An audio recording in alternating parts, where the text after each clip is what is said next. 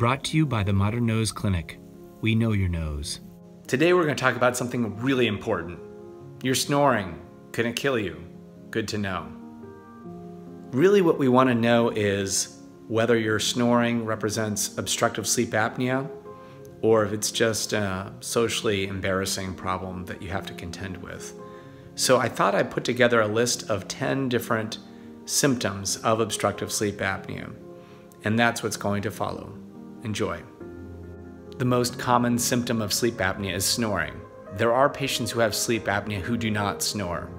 But as we focus on snoring, you need to understand that the sound generated represents turbulent airflow. What that means is that air does not smoothly flow through the nose, the back of the nose, the throat, and into the lungs. Instead, it hits levels of resistance. And when it hits levels of resistance, it causes tissue to vibrate. The vibrating tissue generates snoring. This picture demonstrates progressive decrease in airflow the middle picture demonstrates that air can flow through the nasal passageway mostly, and yet the patient will still snore and have sleep apnea. If you look carefully at this diagram, you will see that the tongue is pushed back towards the neck, making for a very tight space. This also pushes the uvula posteriorly.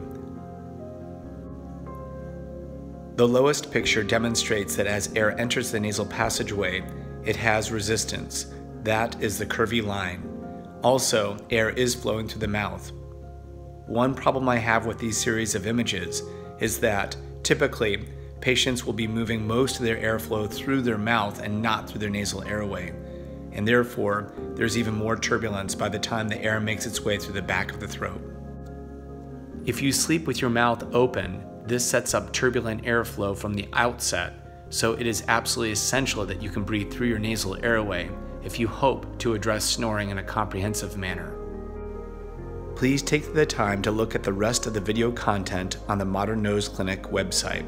This will include other videos in the future, including a dedicated video on the nasal airway. We've discussed snoring. The second symptom of sleep apnea that some patients will demonstrate is choking or gasping while sleeping. Many patients will have sleep apnea and they will not be aware of choking or gasping. But if you or a loved one has noticed choking or gasping while sleeping, this correlates significantly with sleep apnea. Please discuss this with your physician. The third symptom is an inability to fall asleep or remain asleep. While it is unclear why patients who have sleep apnea oftentimes struggle to fall asleep, oftentimes there can be an emotional component.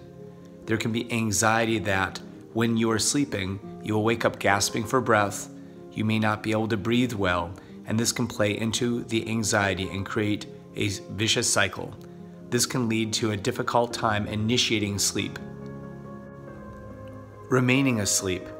Patients will oftentimes believe that they have to wake up to go and urinate. They will do so frequently. An experiment that I have run on several patients has shed some light on this matter. Certainly, there are patients who have problems with their prostate, etc. Also, there are many patients who find that when they measure how much urine they are producing when they go to the bathroom in the middle of the night, it is a relatively small quantity.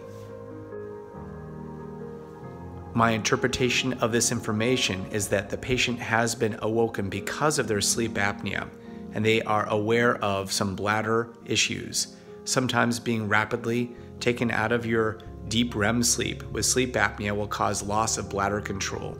This happens frequently in children. So for adults, they become aware of the need to urinate. They go to urinate, and it's really not that much urine being produced. So oftentimes, waking up frequently is the result of obstructive sleep apnea as opposed to a prostate problem. The fourth symptom of obstructive sleep apnea we will call disturbed sleep or poor sleeping. Complex activities occur in the brain as patients sleep. These complex activities require cycling between deep REM sleep and other deep levels of sleep. Different hormones are secreted and different activities occur. When the patient does not cycle smoothly back and forth, the brain will not feel well rested. You will wake up exhausted even if you are sleeping an adequate number of hours. Patients who wake up in the morning still feeling exhausted even though they have slept enough hours of sleep correlate significantly with obstructive sleep apnea. The fifth symptom of clinically significant obstructive sleep apnea may be frequently waking up with a sore throat. We touched on this earlier. Patients who sleep with their mouth open will dry out their throat. This will cause a dry or sore throat and requires reestablishing physiologic airflow. If your physician can help you to breathe better through your nose with your mouth closed, that would be beneficial. The sixth symptom is weight gain.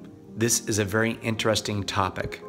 For one reason, this gets back to the fact that the brain undertakes complex activities while sleeping. High quality sleep generates correct hormone flow. When the patient is unable to have high quality sleep, the body will secrete an increased amount of hormone called ghrelin. This is spelled G H R E L I N. This tells the body that it needs to eat. The body will also secrete a decreased amount of hormone called leptin. This is spelled L E P T I N. This tells the body to stop eating. Finally, a very important hormone that is disrupted with sleep apnea is insulin. When a patient is suffering from sleep deprivation, their body will become relatively insulin resistant. The body will react by producing more insulin, and this will cause the patient to crave unhealthy foods. So, in summary, patients who suffer from weight gain may be doing so because of inability to get a good night's sleep. The seventh symptom that we will discuss is feeling sleepy throughout the day. Even if you've had an adequate number of hours of sleep, you may not feel well rested. If you feel sleepy throughout the day, you need an extra cup of coffee, you just can't perform to the level you believe you should, you may be suffering from sleep apnea. Forgetfulness. When you are struggling to focus, you find yourself to be more scatterbrained it's not as easy to remember or learn new complex tasks. You could be suffering from an inability to get a good night's sleep because of obstructive sleep apnea. There are complex processes that occur while you're sleeping that may lead to the development of Alzheimer's disease. This is beyond the scope of this particular talk, but I will do another talk in the future that focuses on that. So if you suffer from forgetfulness, this could be the result of obstructive sleep apnea. Mood swings. Patients who have obstructive sleep apnea will find that they are more irritable than normal.